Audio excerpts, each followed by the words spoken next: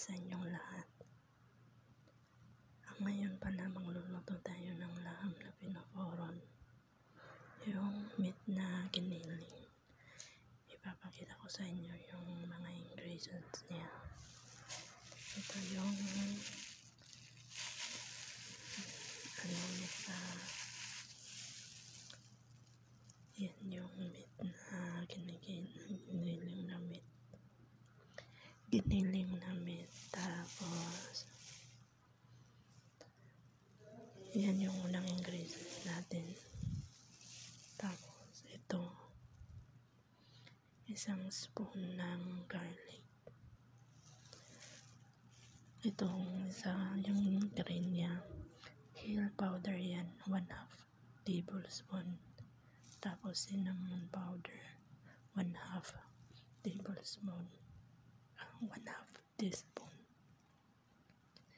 ito naman din 1 half teaspoon. Tapos yung isa ay 1 half teaspoon. And then ito yung ano paminta na durog. So yung paminta na durog pala ay isang kutsarita din siya.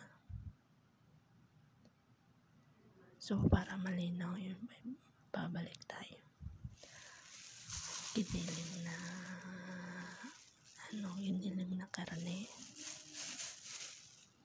Nasa sa inyo kung gaano kadami yung giniling na karne yung kakailangan ninyo. Tapos, ito yung garlic. Isang kutsara. Tapos, hill na powder kalahating kutsarita cinnamon powder kalahating kutsarita ito naman yung paminta na durog sorry. Ito yung paminta na durog. Isang kutsarita. So yung lemon tansya ito lemon. Tansyahin nyo lang yung asim niya kasi may iba na gusto ng maasim, may iba na hindi gusto ng maasim. So, kaya tanongin nyo yung madam nyo kung gusto pa niya ng maasim o hindi. Yung gaanong maasim o hindi gaanong maasim. Okay? Tsaka ito yung tomato paste. Isang kutsara lang din.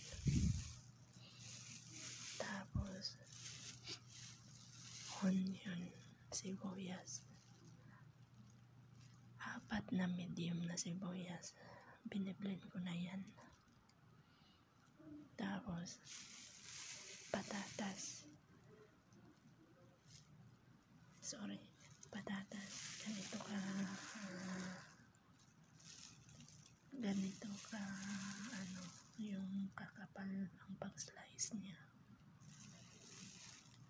Nasa sa inyo kasi yan kung ang gagawin nyo kasi na magkasya sa isang sa inyong paglulutuan. Kasi gagamitin natin ito baba at taas.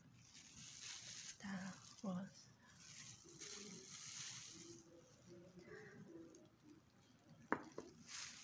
ito yung may atsal na kalahating atsal tapos pata kamatis tatlong kamatis na medium yan lang. Tapos, imimix na natin.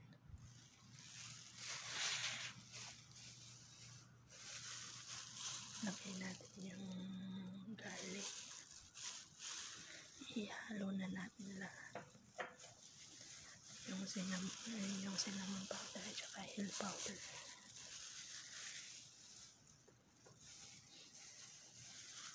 Tapos, itong paminta na durog.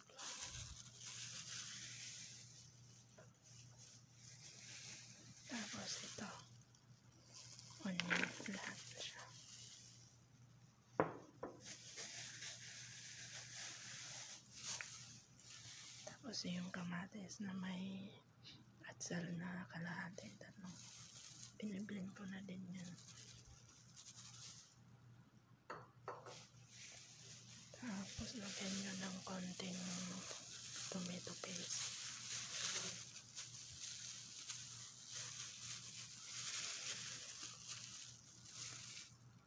Mga isang kutsara ata pero hindi yung punong-puno na kutsara tapos lalagyan nyo ng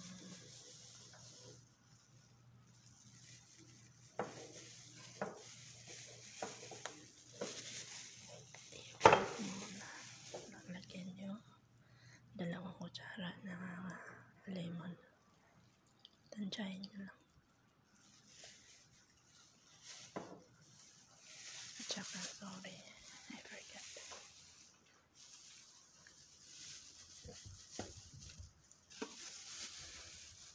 asin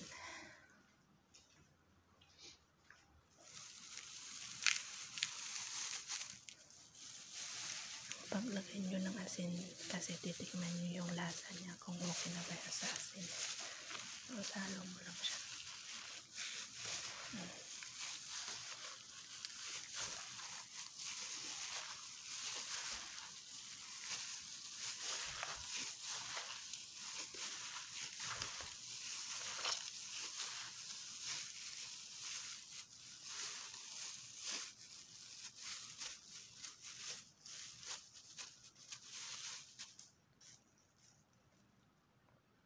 pag, nahalo nyo na siya i-leave mo lang siya ng mga 5 minutes to 10 minutes at i-prepare mo yung ano niya.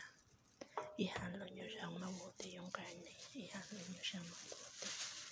Tapos kung nahalo nyo na siya ng mabuti i-leave mo muna ng 5 to 10 minutes para yung asin manunuot.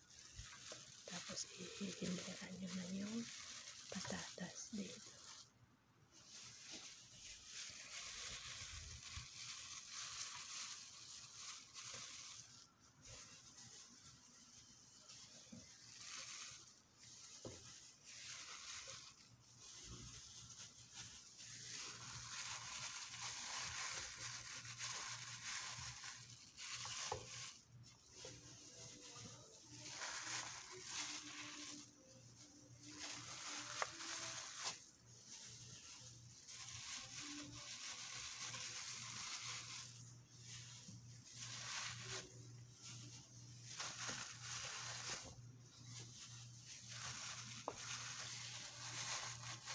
Ganyan lang siya.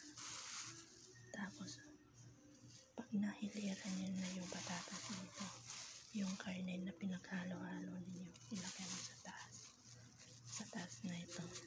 Tapos, pagkatapos nyo, i, ano, ilagay dito lahat. Dito.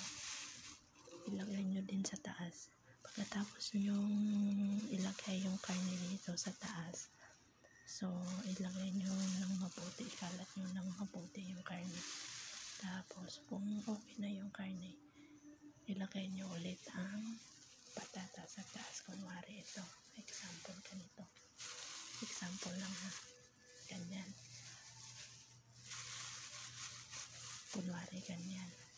So, yung ano, yung isa yung patatas naman, ilagay mo sa taas. Ganyan siya. Okay. Tapos, ipo-forward nyo na up and down. Okay. Yun na. Luto na siya. Hintayin nyo yung maluto. Titingnan nyo kung luto na ba yung patatas. Kasi pag luto na yung patatas, luto na din yung karne. Okay, yun lang guys. Yun lang mga ka OFW dito na nagtatrabaho sa bahay. Yan lang yung tip ko kung paano gawin yung laham na pinuporon, laham from na pinuporon. Okay, thank you. Bye-bye.